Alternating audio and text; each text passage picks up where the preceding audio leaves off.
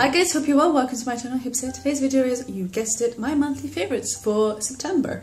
So I have quite a lot to talk to you guys about and I'm going to right into it because I don't want this video to be too too long, so fingers crossed. So I'm going to start off with the products that I've been using from Bath & Body Works and every month I really do try and change up the fragrance mist I'm using and the candle I use. So this time I've been using the Winter Candy Apple. This is I think a year or two old, so it's the last yeah, like the old packaging. I still love the packaging, super adorable with the little polar bear and Christmas tree. And I just, I love this candle because it's just the right amount of sweetness. You can smell the apple, you can smell like the fruitiness, but there's also obviously it's candy apple. So as the title or the name suggests, candy apple. So yeah, I just, I really like this. I have feel like it also has a little bit of um, a refreshing note to it. So that's why I find like it's just the right amount of sweetness for me. I typically don't really go for overly powering sweet scents, but I always try try and kind of go out my comfort zone and try and see if I can find something that's just the right balance. The same with the apple blossom and lavender fragrance mist. I feel like it's just the right amount of sweetness, um, it, just the floriness, the fruitiness. It's more fruity than anything. And it has a little bit of floral touch as well to it, hence the, you know, the lavender. So I've been using this fragrance mist non-stop this month. I really love it. It's I think one of my favorites like of all time that I will repurchase along with like the, the white citrus fragrance mist. So definitely recommend it. Go check it out if you would like these kind of typical scents. The next product I want to talk about is actually a brush. So this is the e.l.f. blush brush and I really really like this brush because I feel like it just it's the right amount of size to apply the blush on your cheeks. It's tapered a little bit so as you can kind of see it's just a little bit tapered as well. It's really nice and fluffy but not too fluffy and it's still a little bit dense that picks up the right amount of um, blush. So I thought I'd quickly mention this brush. If you are looking for a nice affordable blush brush this is the one I would recommend Speaking of blush, I have actually three blushes that I've been using this month. I'm just going to quickly go mention this one just because I have mentioned it quite a lot on my channel. Um, it's one of my favorite blushes. This is the Marks & Spencer's Blusher Limited Collection and it's just in Dusky Rose. I feel like it's just that perfect pinky kind of blush so that when you just apply it, it gives you a nice touch of color to your cheeks. So the next blush I want to talk about is from e.l.f. and this is their Baked Blush in Peachy Cheeky, I believe is the name. doesn't unfortunately have it on the back. I kind of broke mine a long time ago so the lid pops right off and it's just their marbleized kind of blush and it's just this really pretty peachy satiny kind of finish to it so it gives you a nice glow to your cheeks as well as giving you color as well so there's still good amount of color and pigmentation to this blush so that's why I really like it. Um, I feel like you can use this as a highlighter as well if you, especially if you feel fairer skin as well as just like a blush topper. Sometimes I would mix my blushes so I would put a little bit of this on top of this just kind of to give it a little bit of a difference um, gonna change it up really. So I've been really loving this blush. The next blush I've been using and I've been using this on and off throughout the month and this is a little bit more of a higher end blush. This is the Clinique one and it's the Cheek Pop in Peach Pop. So you can kind of tell I think there's gonna be a pretty much of a theme going on through this month. So this is a really beautiful I feel like it's a not necessarily a matte blush, but it is a satin one as well, but not as shimmery as the e.l.f. one that you can see here. So this is what it looks like. It is a little bit more on the peachy orangey side, but still a beautiful blush that it just it gives you a really nice um, touch of color to your skin and it's just it's not too shimmery that you can still kind of wear it if you do want to wear it throughout the day as well and it really does last for a really nice amount of time all these three blushes that I mentioned they last for a really nice amount of time on your skin and one other thing I do want to mention is how cute is the little flower in the blush. I think this is a daisy as well. Just as a little side note, this is the Marks & Spencer's blush, this is the Clinique one, and this is also the e.l.f. one, just in case you want to quick quickly mention this lip balm. It's just an untinted Labello lip balm, and I really like this because it's just it's really nice and moisturizing. I mean, as you can see, I have nearly finished it as well so I'm gonna have to repurchase it again. And it's really nice and affordable. Just, I just love it because it lasts for a nice amount of time on your lips as well so you don't have to keep reapplying. Okay this is I guess it's not really an a favorite either but it's not an unfavorite I mean I am gonna try using it a little bit more but this is the Berrisom 22 lip bar and I don't know the shade exactly what the shade color is but it's just this really it is a pretty shade if I can twizzle up for you guys but I don't know like it is nice and moisturizing. I like the formula, but when I don't like the application, it just, it's, as you can see, it kind of gets messy and you can't get a really nice, even, um, sharp line on your lips when you are trying to outline your lips with it. So that's what I think I really just don't like. I don't like how it applies. It kind of goes on messily.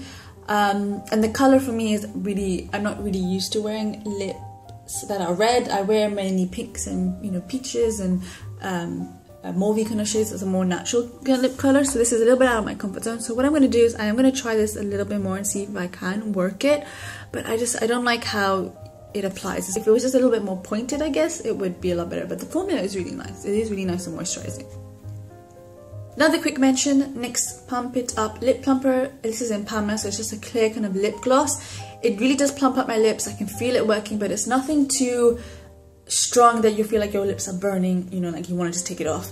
But it's just, it's really nice. It's just a nice lip plumper like I like wearing alone as well as uh, underneath lipsticks before, you know, I do the rest of my makeup. So thought I quickly mention this as well. Have been using it on and off throughout the month as well. Another lip gloss that I've been using, I've been using quite a lot of lip glosses this month and I've been using the NYX Mega Shine Lip Gloss in beige. It's just a really nice I don't know, it's just like the perfect kind of pinky kind of color so that you can just use it for every day. It has a little bit of tint, has a really nice moisturizing formula. It's not too sticky. It smells like cherries, so I really do like it. Um, so I've been using this a lot as well, just if I want a little bit of color and shine to my lips. Another lip gloss I've been using is actually from Makeup Forever. This is their Lab Shine. I feel like the name is incorrect. It's not exactly Metal Collection. I think it's the Star Collection. That's the, the collection I was thinking of. So these are pretty old.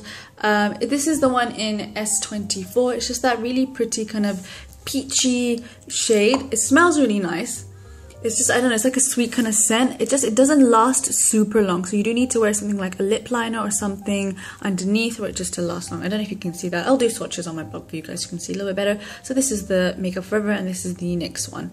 So yeah I like this one. It's the same kind of nice formula. It doesn't last super long but it just it's a really nice pretty color that if you want a little bit of color to your lips as well as um, just some moisture as well Last lip gloss is actually the Starlooks lip gloss in Mad Crush. So this is just a little mini sample that I got ages ago. And it's just that really pretty kind of everyday mauvey pinky shade. And as you can see it's pretty pigmented as well. So I've been using this a lot as well this month. And I just I love the formula. It's really nice and moisturizing. Not too sticky. Has a nice color to it. It's kind of like my lip color but a little bit darker as well. So it's just a great everyday shade. And it has a scent as well a little bit like on the sweet side as well. Just in case you just want a quick little swatch, I thought I'd just do some swatches for you guys. So this is the NYX Mega Shine Lip Gloss in beige. This is the Starlooks Lip Gloss in Mad Crush. And this is the Makeup Forever Lip Gloss in S24. So as you can kind of see, there's another trend going on. I'm using a lot of moisturizing products this month. So I've been using the e.l.f. moisturizing lipstick in Ravishing Rose and it's just this beautiful kind of every day I feel like a I don't know, it's just like a pinky, reddy, mauvey kind of shade. It's just, I can't describe the color, but it's just a really pretty kind of everyday shade. Um, so I've been using this a lot. It is pretty pigmented, but if obviously if you want quite a bit of impact, you do need to layer it a little bit. But I just really like the formula because it's hydrating. It lasts for a nice amount of time because of that. And it, it is, it really does wear nicely as well on your lips. So the last three products are eyeliners. So I'm going to start off with this NYX one here. And this is the Jumbo Eye Pencil in Black Bean. I really do like this, but I just feel like as eyeliner, especially on the waterline for me, and even on the top eyelid, it doesn't last as long as I want to because it's such a creamy, pigmented formula. It doesn't last. Here's a little swatch I did earlier. Um, it just, it's really nice and pigmented, but yeah, I just prefer using this as an eyeshadow base, so that's what I'm going to do. Um, I still may use it on and off for eyeliner, you never know, but for me personally, I just, it doesn't last as long as I want it to. And it smudges a little bit. The last two eyeliners are both from e.l.f. So I'm going to quickly talk about this one. I have done a review on both of them, but I thought I'd mention them as well. This is the eyeliner, um, the brightening one. So it's not as intense of an eyeliner that you want it. But you can still get a pretty good pigment out of it so this is it here. And it is kind of like a mixture of a soft and hard pencil. I don't know how because like it it breaks kind of a little bit easily. But what I do like about this it goes really nicely on the top eyelid. It does not in the waterline go on at all for me. It's, it doesn't stay. It, it's very light and when it does even go on it just it goes off in like the next two seconds. So I do I do like it. It's a really nice soft looking eyeliner um, especially when you're on days when you want your makeup not to be too intense. It's just it's nice. And so it lasts an okay amount of time as well on the eyeliner. I don't like the sharpening the lid because as you can see the lid is quite messy now. But otherwise I do like the eyeliner. so the last product is the waterproof eyeliner pen from e.l.f. and I really like this because I find it so easy to make a wing with it um, and you, depending on how much pressure you put on the, the pen you can do a thick line or you can do a really thin line so you can really control the the the pressure and how thick of a line you want to do as well so that's what I really like about it. It's a pigmented, it's just easy to um, use as well. And the best thing is that you do need to store this just upside down like this, so like tip first um, or lid first because other, that way the product will soak up into the tip and you'll get a really nice pigmented line as well. So that's it guys, thank you so much for watching. I hope you have enjoyed this video. These are all my monthly favorites, so I feel like I did really well this month. I've used quite a lot of products, really wanted to change it up this month as well. So let me know in the comments below what your monthly favorites are. Have any of the products made it to your ride or die list that you cannot live without? I love hearing from you guys, so please do comment down below.